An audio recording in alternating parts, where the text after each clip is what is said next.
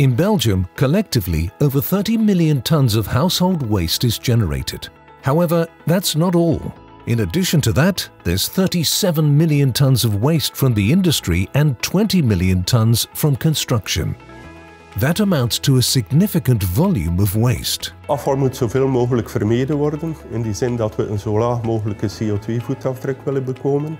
Het is ook belangrijk om voor een kwalitatief duurzaam product te kiezen die lang kan meegaan in de tijd. In dit geval van het ziekenhuis hier moet dat makkelijk 30 tot 40 jaar gebruikt kunnen worden. Recycled content gebruiken in uh, nieuwe producten is ook belangrijk. In die zin dat je daar eindelijk basisgrondstoffen mee kunt vervangen. En je vermijdt uiteraard ook dat afval moet worden verbrand of dat het moet worden gestort als je het kunt recyclen.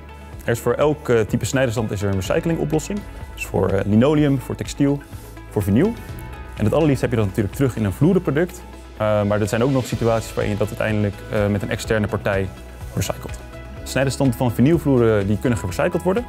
En deze die worden in big bags gedaan op de werkplaats. Vervolgens meegenomen met een vrachtwagen naar de fabriek. Daar worden ze gesorteerd en dan helemaal vermalen tot kleine stukjes. En omgesmolten in een compound zodat er weer een nieuw product in kan. En dan gaat het weer 30, 40 jaar mee.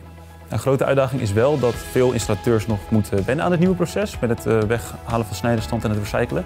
Dus dat er af en toe nog koffiecupjes in belanden of uh, meshes. Dus dat je net zeker moet sorteren voordat het uh, nieuwe proces in kan. het klinkt natuurlijk als een behoorlijke onderneming en dat is het ook, zeker met het sorteren en al die logistieke processen die erachter zitten.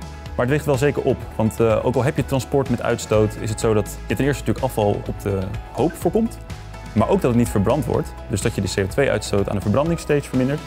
En dat je het aan de andere kant weer opnieuw gebruikt in een product in plaats van virgin material.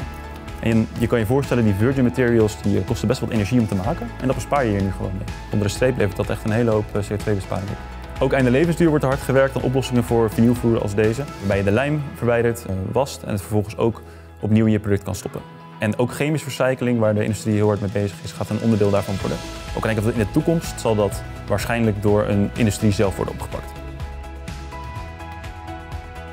Als je als particulier een vloer gaat vervangen thuis, is het de beste scenario dat je het eh, product naar het containerpark gaat brengen, waar het in een selectieve afvalstroom gaat belanden en eventueel de beste wijze of de beste mogelijkheid tot recycling zal krijgen.